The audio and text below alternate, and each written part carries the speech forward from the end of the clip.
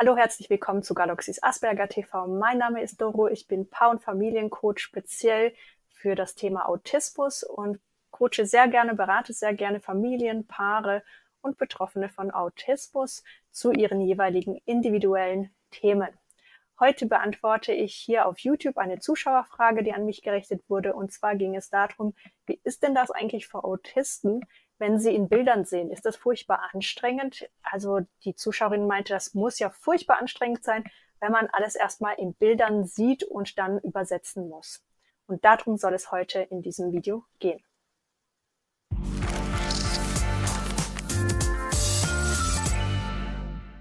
Wie immer ist es mir wichtig, darauf hinzuweisen, dass nicht der Autist und der Autismus alles repräsentieren, was ich hier heute und in anderen Videos sage. Es sind immer so Tendenzen, es sind bestimmte Muster, die sich immer wieder zeigen oder erkennbar machen. Das gilt aber natürlich nicht für jeden und nicht individuell. Das Autismus-Spektrum ist sehr groß, sehr weit und die Menschen können da sehr unterschiedlich sein. Das gilt auch für das heutige Thema. Viele Autisten sehen in Bildern, aber natürlich nicht alle. Und heute gucken wir mal, was heißt denn das ganz genau in Bildern zu sehen. Ich kann da nicht aus eigener Erfahrung sprechen, weil ich nicht unbedingt so in Bildern sehe wie manch anderer. Aber natürlich durch die vielen Gespräche, die ich führe und die Eindrücke, die ich habe, die Erzählungen, die ich habe, kann ich ein bisschen was dazu sagen. In Bildern sehen bedeutet wahrscheinlich erstmal, dass man Verschiedenes sehr detailliert sieht. Ganz anders als jetzt ich jetzt, wenn ich einen, einen Satz höre, dann höre ich einen Satz. Er hat für mich eine bestimmte kognitive Bedeutung. Ich kann das kognitiv übersetzen. Aber ich sehe nur so grobe Schemen, würde ich mal sagen. Also wenn ich jetzt an einen Hund denke, an meinen Hund denke, dann sehe ich vielleicht meinen Hund oder ich sehe eine Form Hund, so ein Mischling. Mein Hund ist ein Rassehund, also in dem Fall sehe ich tatsächlich einen Mischling ungefähr und ähm, das ist mir gut genug. Das ist so oberflächlich, ähm, ja, so grob kann man damit was anfangen.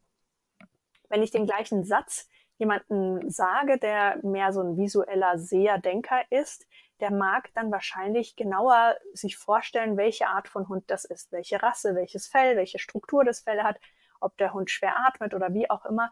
Der sieht viel, viel mehr Details und das kostet natürlich Zeit. Das heißt, wenn man einen Satz spricht, ist da ein Konzept dahinter. Für die meisten Nicht-Autisten meistens auch noch irgendwie eine soziale Interaktion oder Botschaft die der Autist erstmal in ein Bild, in einem Bild wahrnimmt und noch gar nicht so sehr in, eine in einen bestimmten Kontext übersetzt, in eine bestimmte Sprache übersetzt. Und da entstehen natürlich auch verschiedene Schwierigkeiten und Probleme. Und zwar kann es dann dazu kommen, dass wenn man jetzt in so einer Bildsprache erstmal denkt oder wahrnimmt, dass man die Bilder zwar sieht, bestimmte Eindrücke hat, sich aber entscheiden muss, für welchen Hund entscheide ich mich denn, welchen will ich denn jetzt visualisieren. Dem Sprecher mag das vielleicht egal sein, aber der Zuhörer, in dem Fall der Autist, der in Bildern denkt, braucht es vielleicht genauer und sein Gehirn braucht dann länger, um diese Information zu bearbeiten. Entsprechend kann es sein, dass die Reaktion nicht so schnell ist. Entsprechend kann es sein, dass dann derjenige, der gesprochen hat, eine Reaktion erwartet, aber keine kriegt und sich wundert, warum. Und so kann es zu allerlei Missverständnissen kommen und Schwierigkeiten kommen, in der Tat. Wenn man dann natürlich auch die Bilder hat und ein bestimmtes Gefühl dahinter vielleicht auch erzeugt wird beim Autisten und man soll dann antworten, dann muss das Ganze erstmal wieder in Sprache rückübersetzt werden. Man kann ja quasi kein, ja, es wäre schön, aber man kann nicht so ein Bild projizieren mit einem Projektor zurückprojizieren. Das würde wahrscheinlich vielen Autisten helfen. Sie arbeiten ganz gerne, viele arbeiten ganz gerne mit irgendwelchen visuellen Hilfsmitteln. Das würde helfen, ist aber beim Sprechen tatsächlich nicht möglich. Das heißt, es kann da auch durchaus eine Verzögerung geben, Schwierigkeiten geben, manches zu artikulieren. Ein anderer ist so zack, zack, kann sofort ganz schnell antworten, ist da sehr, ähm, sehr stark im, im Zurück antworten und Kontra geben oder argumentieren, weil die Worte einfach fließen. Und selbst wenn Autisten das Konzept verstehen, aber eben in Bildern denken, kann der Weg, ist einfach länger, der kann nicht so schnell gegangen werden wie einer, der da wirklich sehr schlagfertig ist und da immer schon ein Argument das nächste hat. Und das ist, kann frustrierend sein, für beide Seiten mitunter. Für den Autisten manchmal wirklich sehr frustrierend, weil er nicht das ausdrücken kann, was er vielleicht sagen möchte. Ich glaube wirklich, es gibt visuelle Denker, es gibt mehr so die Wortdenker. Ich glaube, ich gehöre eher zu den Wortdenkern und es gibt Leute, die Muster erkennen und daraus viel abziehen. Ja, die gucken sich irgendwas an und sehen da irgendwie Fehler oder Ungereimtheiten. Ich glaube, ich persönlich bin mehr so der Wortdenker ähm, bin auch wortgewandt und bin auch recht schlagfertig. Das ist so mein Naturell. Da ist jeder ein bisschen anders. Und es ist gut, seine Stärken zu kennen, um damit umgehen zu können. Also wenn du eher so ein visueller Denker bist und Dinge in Bildern erst einmal siehst, kannst du natürlich deinem Gegenüber sagen, du, ich kann nicht so schlagfertig antworten. Das kannst du natürlich auch eben nicht schlagfertig tun. Das darfst du dir vorüberlegen und schon mal ankündigen oder erklären ich brauche da ein bisschen länger. Ich muss meine Bilder erstmal verarbeiten. Und dann darf man in seine Selbstsicherheit gehen und sagen, ja, es gibt Menschen, die denken eher in Bildern und die sind dann halt vielleicht ein bisschen langer, langsamer, bisschen verzögerter im Antworten, aber auch das ist okay. Ich kann mir vorstellen, dass wenn man in Bildern denkt, dass man da auch ein anderes Gedächtnis entwickelt. Also, dass man verschiedene Eindrücke eben mit Bildern verbindet, mit Emotionen verbindet und dass es dann so eine Kette oder Aneinanderreihung von Bildern gibt, die man wie so in so einem Katalog erstmal durchblättern muss, wenn man jetzt mh, hm, sein Gedächtnis abruft. Das sind dann nicht Konzepte, es sind nicht Ideen, die irgendwo gespeichert sind, sondern das sind tatsächlich ja, Katalogbilder, die nochmal durchgewälzt werden müssen, wenn man sich an etwas erinnern möchte.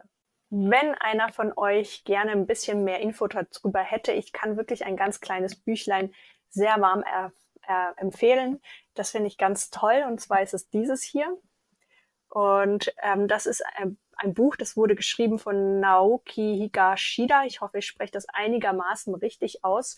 Und das ist ein Junge, der seine autistische Welt erklärt. Das Buch ist deswegen so besonders, weil es eben nicht von einem Erwachsenen geschrieben ist für Erwachsene, über Autismus, sondern von einem autistischen Kind formuliert ist. Und das gibt nochmal einen Einblick in das Sehen und Denken von jemandem, der vermutlich auch eher in Bildern sieht und denkt. Deswegen hier zu diesem Thema passend. Und ähm, gibt so ein bisschen ein Einblick, ein, ein Einfühlen, die Möglichkeit, sich einzufühlen in die Welt des Autismus mit mehr dem visuellen Denken und Sehen der Welt. Im Übrigen, dieses Buch ist in keinster Weise gesponsert. Das ist nur mein Tipp, den ich einfach so rausgebe. Ich bekomme dafür kein Geld, dass ich das Buch hier empfehle.